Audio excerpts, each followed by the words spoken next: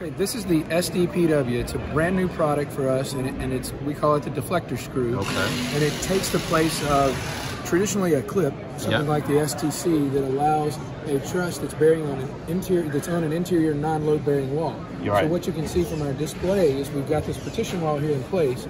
A lot of times they would set the truss down on top and nail Yep. or screw it directly to the wall, and it wouldn't allow it to move. So that that truss itself is is designed to actually deflect. Mm-hmm. And if it can't do that, then we have all sorts of trouble with drywall and cracking and movement and stuff on the walls. Plus, the load itself will actually be passed down to this wall if it's fixed to it. So what the deflector screw does is it allows you to install by drilling a hole up into the wall. And as you can see, we have this this plastic piece that launches itself into the wall, and then the screw goes into the truss itself. But it can actually move up and down Yeah.